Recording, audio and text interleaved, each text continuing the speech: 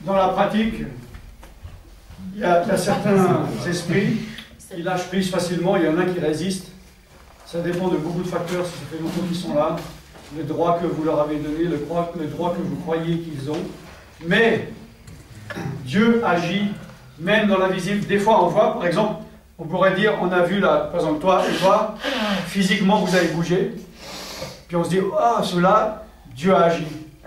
Puis les autres qui étaient plus calmes, Dieu a moins agi. Mais on sait que Dieu agit. Amen. Et quand Dieu agit, c'est qu'il fait exactement ce qu'il doit faire au moment même. Et très souvent, c'est arrivé, on prie pour quelqu'un, il n'y a rien qui bouge. Et après, il, dit, il, commence à voir quelque chose. Après, ou bien genre, il est rentré chez lui, tout, d'un coup, tous les démons sont sortis d'un coup, et des choses comme ça. Ah, l'autre jour, tu as dit, euh, euh, Jonathan, quand j'étais venu chez toi, voilà, tu as bougé là. Mais l'autre fois, tu étais hyper calme. Tu veux expliquer juste ce qui s'est passé? En gros, euh, tu avais l'impression que rien se passe? J'ai un peu de peine là. Euh, bon, ok, tu veux que je t'explique pour toi Ouais, dis-le, stop. J'étais chez lui à Yverdon, c'est une ville par ici, là, en Suisse. Non. Hein? Non, c'est par là? Ouais, ouais. Et je suis venu prier pour eux chez eux. Puis apparemment, comme il dit, c'est vrai que physiquement, il n'y a rien qui s'est passé, il n'y a pas eu de manifestation, comme certains ici ce soir. Mais après, il y a eu commencé à avoir des choses qui se sont passées quoi, dans les jours ou les semaines? Dans le mois. Dans le mois, il a eu des libérations profondes et lentes, comme par exemple, il n'avait jamais pu te repentir, quoi, en fait. Puis là, tu as eu un esprit de repentance, d'après ce que mon déblocage spirituel. Euh, euh, ouais, il y a eu un. Euh, à un moment, j'étais en train de louer le Seigneur et prier, et puis un esprit de repos. Ça fait, ça faisait longtemps que je priais pour, que, pour vraiment m'humilier, puis vraiment demander pardon à Dieu pour ce que j'avais fait de mal. Et puis euh, à ce moment-là, il y a un esprit de repentance que le Saint-Esprit m'a saisi vraiment tout entier. Je tremblais, je, je, je, pleurais. C'était pas, je, pleurais pas juste des, juste des petites larmes, c'était vraiment des gros sanglots pendant j'ai pleuré comme ça pendant une heure. Et puis, euh, et puis euh, je, pouvais, je, juste dire pardon, pardon, je pouvais vraiment rien d'autre dire quoi. Euh, et puis ça, ça a créé après des déblocages dans ma vie spirituelle. C'est-à-dire que Dieu m'a fait rentrer dans une, nouvelle dimension en fait, dans mon cul personnel. Quoi. Je, je, je, me sens beaucoup plus proche avec Dieu. J'ai une relation beaucoup plus intime avec lui. Euh, donc c'est pas parce qu'il se passe rien que euh, quand Alain Rich est venu chez moi et Marine, quand il a pris pour nous, bah, il, s'est rien, vraiment rien passé, on était un peu déçus. Mais euh, voilà, il y a eu, enfin, il y a eu toutes, j'ai pas tout dit, hein, mais il y a eu toutes sortes de choses qui se sont passées durant le mois. Et puis voilà. Voilà, ouais.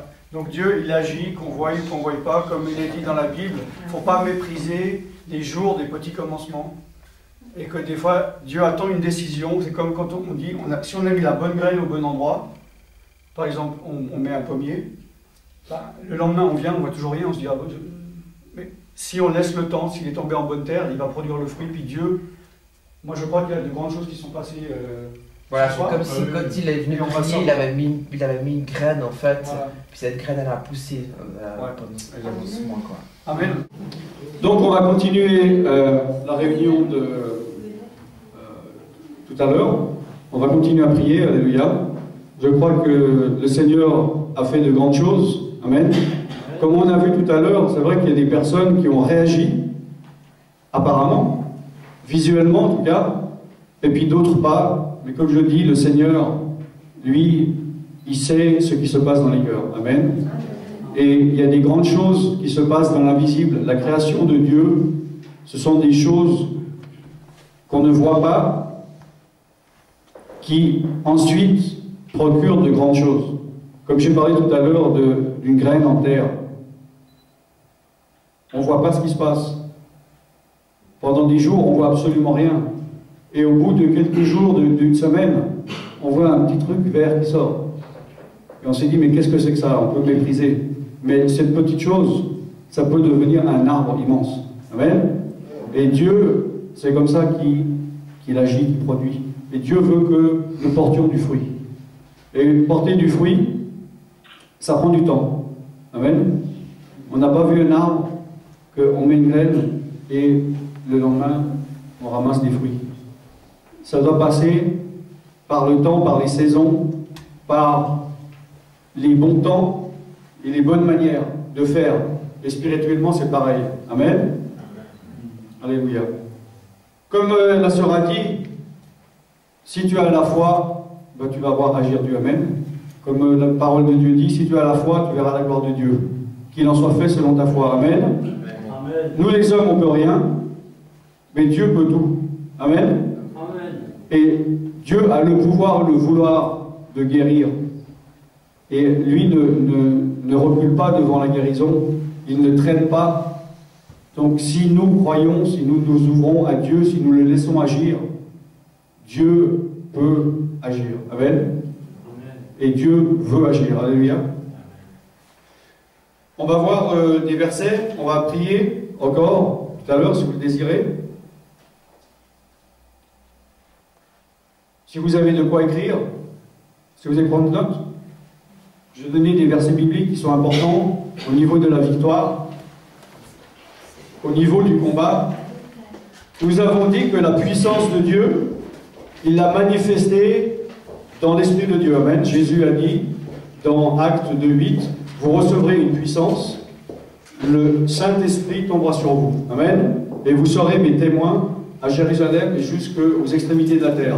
La puissance de Dieu, c'est le Saint-Esprit. Et la puissance ou la force de Dieu, euh, il l'a déployée en Christ. Amen. Car Christ, c'est en lui que nous avons droit à la victoire. C'est parce que Jésus-Christ est mort sur la croix pour toi que tu as pu être sauvé, que tu as pu être ou que tu vas être délivré. Amen. Que tu, peux, as, tu as été ou que tu vas être guéri. C'est dans le nom de Jésus. Dieu le Père a envoyé Jésus, a choisi Jésus et il a tout remis entre ses mains. Amen. Et il a décidé que nous devons passer par Jésus. Jésus lui-même a dit, demandez ce que vous voulez à mon Père. Et dans ce qui est sa volonté, en mon nom, c'est donc au nom de Jésus-Christ, je vous l'accorderai. Amen. Si nous sommes assemblés au nom de, si nous sommes assemblés au nom de Jésus, il est au milieu de nous. Amen. Il n'est pas dit si vous assemblez au nom du Saint-Esprit ou au nom de Dieu, ou au nom du Père, mais au nom de Jésus-Christ. Amen. Il y a la puissance dans le nom de Jésus-Christ. Amen. En lui, la force de Dieu est déployée. On peut voir ça dans, par exemple, vous pouvez écrire, euh, on n'aura peut-être pas le temps de lire, dans Ephésiens chapitre 1 à partir du verset 16 à 23. Hein, que donc la force de Dieu est déployée en Christ. Dans Philippiens 2, versets 6 à 11, on voit que Dieu a souverainement élevé Jésus-Christ et lui a donné le nom qui est au-dessus de tout nom, afin qu'au nom de Jésus, tout genou fléchisse, Amen, dans les cieux, sur la terre et sous la terre.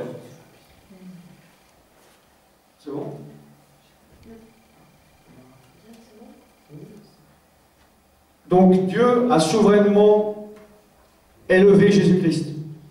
Il lui a donné un nom au-dessus de tout nom. Amen. Pourquoi un nom? C'est comme dans une société, on sait celui-là, le tel nom, ah, c'est la, secrétaire, tel nom, c'est celui qui prépare le café, tel nom, c'est le directeur. Si on connaît le nom du directeur, on sait que c'est lui qui est tout en haut. Amen. C'est lui qui a l'autorité. Et si on rencontre le directeur de la société et qu'il dit quelque chose, c'est lui qui a l'autorité de le dire. Et Jésus, dans le domaine spirituel, dans le monde spirituel, est au-dessus de tout. Là, il est dit qu'il a un nom au-dessus de tout nom. Amen. Amen. Il est aussi dit dans Ephésiens que Jésus est assis à droite de Dieu, de Dieu en dessus de toute domination, de toute autorité, de toute puissance. Amen. Spirituelle. Et nous, nous sommes assis avec lui dans les céleste. C'est pour ça que nous avons l'autorité. Et tous les esprits mauvais, peu importe leur autorité hiérarchique, Jésus-Christ est assis bien au-dessus de, de Amen. Et car Jésus a un nom au-dessus de tout nom. C'est pour ça que les esprits doivent se soumettre au nom de Jésus-Christ. Amen. Tout genou fléchit dans les cieux, sur la terre et sous la terre. Dans les cieux, ça veut dire les personnes, les, esprits, que ce soit des anges ou des démons. Hein Quand Jésus il est venu dans un endroit, un homme il s'est jeté à ses pieds, c'est pas l'homme qui parlait, c'était l'esprit en lui, qui a dit Qu'est-ce que tu viens faire déjà avant le temps? Car ils savent qu'il y a un temps qui est donné, qui sera fini, quand ils seront jetés dans le lac de feu. Et avant ça, ils profitent un maximum pour détruire les gens. Amen. Pour les empêcher qu'ils viennent à Jésus. Et quand ils viennent à Jésus, pour les empêcher qu'ils grandissent et qu'ils soient libres. Jésus, il a dit que celui que le Fils libère est réellement libre. Hein L'œuvre du diable, c'est de détruire. Mais Jésus est venu pour détruire l'œuvre du diable. Amen. Qui est de détruire. Donc Jésus est venu pour construire, pour reconstruire ce que le diable avait cassé. Donc ce que le diable t'avait volé, Jésus est là pour te le rendre. Amen. Ce que le diable avait détruit, Jésus est là pour le reconstruire. Amen. On voit dans 2 Timothée 2, versets 25 et 26, que Dieu donne la repentance pour arriver à la connaissance de la vérité, afin que certaines personnes se dégagent des pièges du, diable qui s'est emparé d'eux pardon, pour les soumettre à sa volonté. En français, ça veut dire qu'il y a des gens qui sont tombés dans le piège du diable. Hein? Tous ceux qui sont dans le monde sont dans les pièges du diable. Il y a des chrétiens qui sont dans les pièges du diable. On peut tomber dans un piège, mais il faut s'en sortir. Amen. Et on n'a pas à rester dans les pièges, dans les filets du diable. Une fois qu'on s'en rend compte, on peut sortir.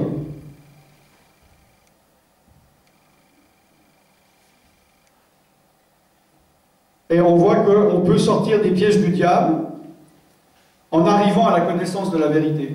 Par la connaissance, on peut sortir des pièges du diable. Amen. Et on voit que pourquoi est-ce que le diable les a pris au piège? Il dit qu'il s'est emparé d'eux pour les soumettre à sa volonté. Le but du diable, c'est de soumettre les hommes à sa volonté. Amen. Mais nous pouvons sortir des griffes du diable.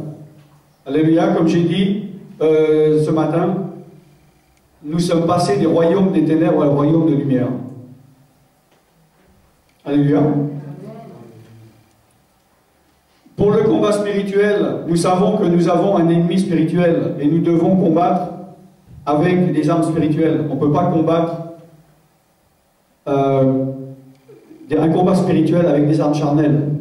On ne peut pas. D'accord? Comme un combat charnel, on doit le combattre avec des armes charnelles.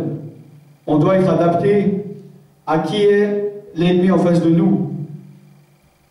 On, voit donc dans 2 Corinthiens chapitre 10, versets 3 à 5, que les armes avec lesquelles nous combattons ne sont pas charnelles, mais elles sont puissantes. Amen. Selon la vertu de Dieu. Et les armes spirituelles, on les connaît aussi dans Ephésiens 6. Vous connaissez très bien l'armure de Dieu. Amen.